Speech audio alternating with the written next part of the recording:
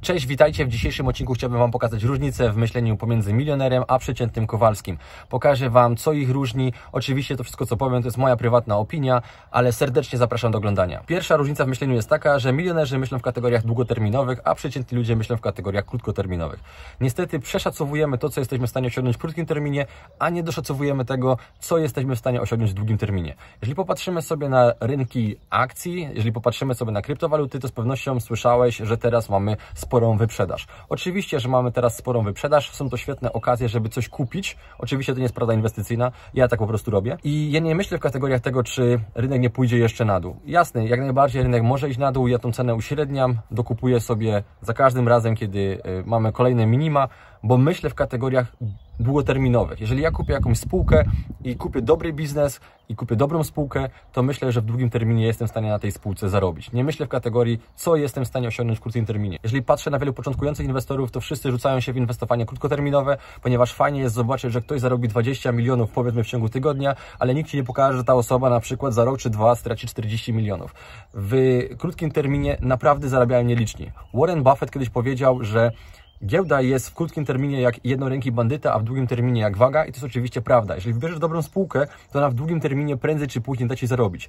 Ile da Ci zarobić? Tego de facto nikt nie wie, ale dobra firma sobie poradzi z różnymi sytuacjami, które są na rynku. Oczywiście, jeżeli firma przestaje być dobra, wtedy trzeba ją sprzedać, ale w długim terminie, szansa, że osiągniesz e, sukces w długim terminie jest znacznie większa niż to, że osiągniesz to w krótkim terminie. Dlatego ludzie bardzo mocno przeszacowują e, to, co są w stanie zrobić w krótkim terminie, a nie myślą o tym, co są w stanie zrobić w długim terminie. I tak jest ze wszystkim. Tak jest z biznesem, z inwestycjami, nawet z kształtowaniem sylwetki. Jeśli zapytasz swoją mamę albo jakąś kobietę po 50 roku życia, e, na ile byś chciała kupić dietę, to wszystkie powiedzą Ci, no ja bym tak chciała schudnąć w ciągu tygodnia, może w ciągu dwóch tygodni, ale żadna Ci nie powie, hej, ja bym chciała osiągnąć świetne wyniki w ciągu 7-8 miesięcy, ponieważ to jest perspektywa, która tej osoby nie interesuje. De facto osoba, która ma taką perspektywę, ma większą szansę osiągnięcia tego wyniku niż osoba, która myśli w perspektywie tygodnia czy dwóch tygodni, ponieważ w tak krótkim czasie nie za bardzo da się coś zrobić, ale w długim terminie jak najbardziej tak. Następna rzecz, która przychodzi mi do głowy jest taka, że milionerzy myślą rozbieżnie. Wiedzą, że cel można osiągnąć na wiele różnych sposobów. Pytanie tylko, czy sposób, który wybrałeś, to jest najszybsza, najłatwiejsza droga dla Ciebie. Dam Ci przykład. Jeżeli chcesz zarobić na nieruchomościach, to możesz to zrobić na wiele różnych sposobów. Możesz flipować, możesz wynajmować na krótki termin, na długi termin, możesz bawić się w podnajem, w deweloperkę istnieje wiele dróg, które doprowadzą Cię do tego celu ostatecznego. Pytanie tylko, czy droga, którą wybrałeś, jest tą drogą najszybszą, która doprowadzi, doprowadzi Cię do tego celu, który sobie wybrałeś. Widzisz, w szkołach nas uczą, że istnieje tylko jedna droga i jedno dobre rozwiązanie. Prawda jest taka, że tych dróg jest bardzo wiele. W takim prawdziwym życiu jest bardzo wiele zmiennych, więc jest też bardzo wiele dróg, które Cię są w stanie doprowadzić do celu. Pytanie tylko, czy droga, którą wybrałeś, to jest ta najlepsza, najszybsza, która jest się w stanie doprowadzić do sukcesu. Bardzo często widzę po osobach początkujących, myślą sobie w kategoriach, ok, wchodzę w ten biznes, bo ten biznes no, według mnie jest najłatwiejszy i da mi na przykład tam 5-6 tysięcy miesięcznie. Pytanie tylko, czy ten biznes, który sobie wybrałeś, doprowadzi Cię do Twoich wyników najszybciej? To jest pytanie, na które musisz po prostu poznać odpowiedź. Następna rzecz, o której myślą milionerzy, to są problemy, tylko że milionerzy patrzą na problemy z innej perspektywy. Widzisz, ludzie skupiają się na problemach, skupiają się na tym, czego nie mają, na problemach, które aktualnie mają. Milionerzy z kolei myślą w kategoriach, jak mogę rozwiązać ten problem i jeszcze na tym problemie zarobić. Dam Ci taką fajną historię. Sir Richard Branson kiedyś chciał e, polecieć tam na jakąś wyspę i odwołano wszystkie loty. Postanowił, że wynajmie samolot, e, stanął na lotnisku i zebrał kilku chętnych na wspólny lot. Uświadomił sobie wtedy, że chce wejść w biznes związany z lotnictwem. Chce po prostu mieć swoją e, linię lotniczą. No i to były początki Virgin Airline, chyba tak. Więc w każdym razie milionerzy myślą w kategoriach tego, e, jaki jest problem, jak go mogą rozwiązać i jak mogą na nim zarobić. Jeżeli popatrzymy sobie na przedsiębiorczość, to istotą przedsiębiorczości jest rozwiązywanie problemów, które mają ludzie. Więc jeżeli istnieje jakiś problem, też istnieje rozwiązanie. Czytałem o gościu, który chodzi po Nowym Jorku i zauważył, że jest bardzo dużo śmieci. Postanowił zbierać te śmieci, pakować je w takie plastikowe pudełka i postanowił sprzedawać te śmieci jako rzeźbę. Więc mm, znalazł problem, rozwiązał problem i jeszcze na tym problemie zarobił. Dla milionera problemy zawsze są jakąś szansą. Jeżeli istnieje problem, istnieje rozwiązanie i można na tym problemie jeszcze zarobić. Kolejna bardzo wielka różnica pomiędzy milionerami a takimi przeciętnymi ludźmi jest taka, że przeciętny człowiek myśli sobie, hej, chciałbym być milionerem, bo mógłbym sobie kupić nowy samochód, mógłbym sobie kupić, nie wiem, Mercedesa, mógłbym sobie kupić Lamborghini, Lamborghini, mógłbym sobie kupić i wybudować fajny dom i tak dalej, i tak dalej. Wydaje mi się, że to jest bardzo duża różnica, ponieważ jeżeli stajesz się milionerem, to zauważasz, że prowadzenie firmy czy inwestowanie wiąże się z bardzo dużym stresem. I Twoim celem jest bardzo mocno zwiększyć dochody, żeby zbudować nadwyżki. Jeżeli Ty masz nadwyżki i możesz inwestować, a przy okazji mało wydajesz, to Ty de facto nie potrzebujesz dużej ilości pieniędzy, żeby egzystować. Oczywiście Twój styl życia może być droższy niż takiego przeciętnego człowieka, wiesz, takiego przeciętnego po prostu Kowalskiego, ale jeżeli nie wydajesz, nie wpadasz w tą spiralę, że muszę kupić sobie to, to, to i tamto, a przy okazji zarabiasz bardzo dużo, masz po prostu pieniądze do inwestowania. Kiedy masz pieniądze do inwestowania, to w pewnym momencie Twoje inwestycje pracują na Ciebie, co zdejmuje cały stres z prowadzenia firmy i z tego, co się aktualnie dzieje na rynku. Możesz myśleć strategicznie, możesz myśleć długoterminowo, możesz myśleć zupełnie inaczej. Przeciętny taki mały przedsiębiorca żyje z dnia na dzień, musi cały czas zdobywać klientów, musi cały czas walczyć o pozyskanie nowej osoby.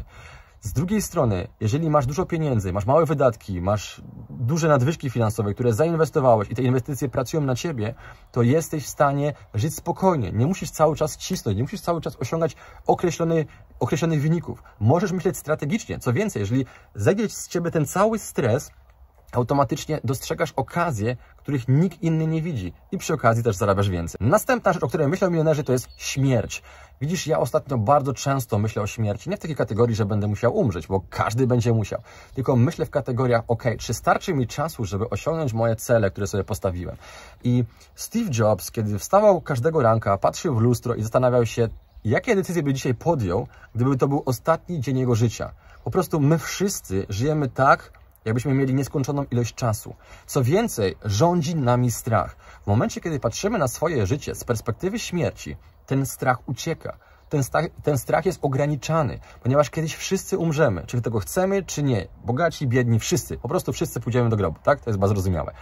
I jeżeli patrzysz na swoje życie z perspektywy, ok, jutro muszę umrzeć, to jesteś w stanie dzisiaj żyć pełnią życia. Jesteś w stanie podejmować trudniejsze decyzje, które wiesz, że dla Ciebie, dla Twojej rodziny będą po prostu lepsze w długim terminie. Dlatego myślenie o śmierci jest tak kluczowe. Następna rzecz, którą zauważyłem po sobie i po moich znajomych jest taka, że myślimy w kategoriach, jak możemy wykorzystać to, co już mamy, żeby zarabiać jeszcze więcej. Nie w kategoriach, że ok, mamy jakiś biznes, on zarabia i musimy mieć za chwilę nowy biznes, musimy mieć 15 różnych biznesów. Ok, niektórzy może to, może to lubią robić, ale większość ludzi nie powinna tak działać.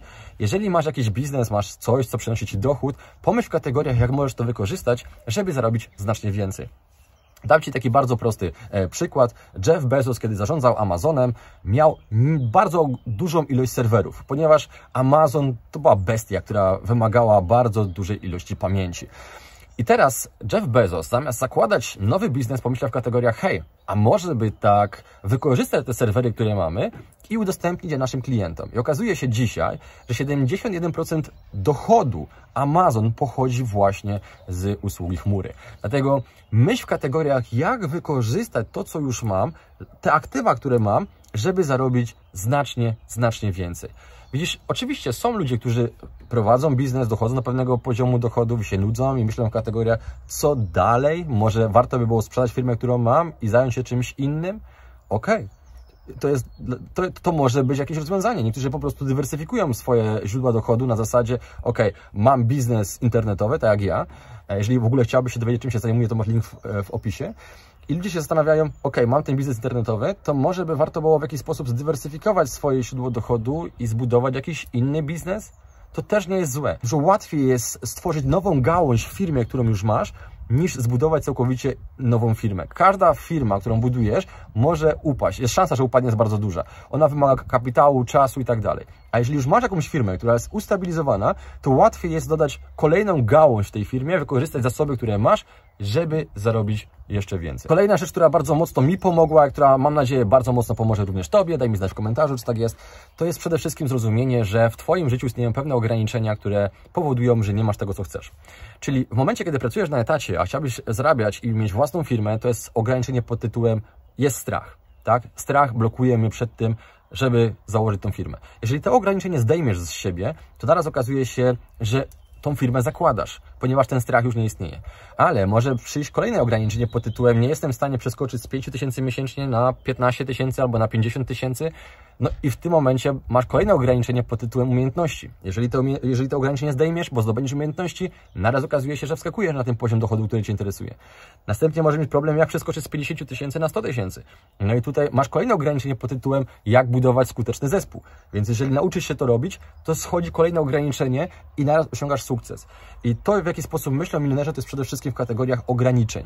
Jakie ja mam teraz ograniczenie, które mogę zdjąć z siebie, które pozwoli mi przejść na kolejny poziom.